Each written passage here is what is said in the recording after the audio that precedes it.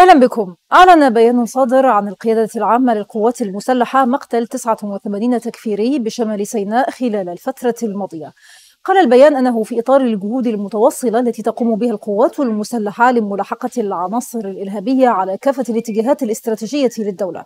وأيضا خلال الفترة السابقة نجح أبطال القوات المسلحة في توجيه ضربات متلاحقة للعناصر الإرهابية. وتنفيذ عدد من العمليات النوعية أسفرت عن مقتل 89 فرد تكفيري شديد الخطورة في مناطق العمليات بشمال سيناء.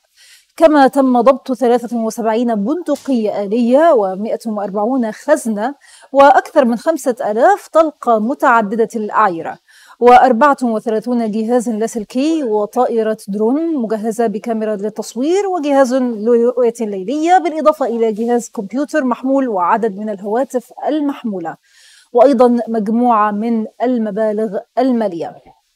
أيضا تم الاكتشاف وتدمير عدد 404 عبوات ناسفة على المحاور والطرق الرئيسية وأربعة أحزمة ناسفة فضلا عن اكتشاف وتدمير 59 دراجة بخارية تستخدمها العناصر التكفيرية.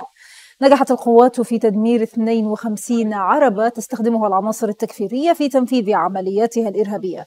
كما نجحت قوات حرس الحدود بالتعاون مع عناصر المهندسين العسكريين في اكتشاف وتدمير 13 فتحة نفق تستخدمها العناصر الإرهابية في التسلل لشمال سيناء.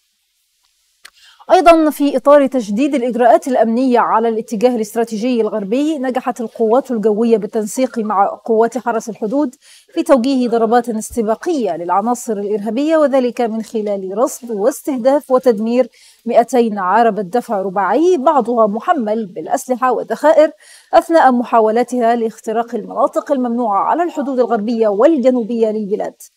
يأتي ذلك بتزامن مع قيام القوات البحرية بتكثيف أعمالها القتالية وحماية الأهداف الاستراتيجية وتأمين المصالح الاقتصادية المصرية وتنفيذ أعمال البحث والإنقاذ في البحرين الأحمر والمتوسط وبالإضافة إلى تنفيذ حملة مكبرة للقضاء على الزراعات المخدرة بجنوب سيناء نتج عنها القضاء على 842 مزرعة بنجو ونبات الهيدرو المخدر وأكثر من ألف مزرعة لنبات الخشخش.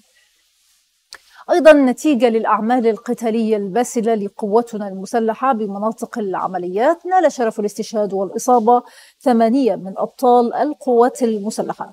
هذا ويؤكد رجال القوات المسلحة على أنهم ماضون بكل عزيمة وإصرار لاقتلاع ما تبقى من جذور الإرهاب والتطرف ومواصلة البناء والتنمية في كافة ربوع مصر. شكرا لمتابعة حضراتكم لهذا البيان العاجل. انتظرونا في المزيد من العواجل على تلفزيون اليوم السابع. نطلع دائما بها مع حضراتكم والمزيد معنا النشرات الإخبارية والعواجل من تلفزيون اليوم السابع. إلى اللقاء.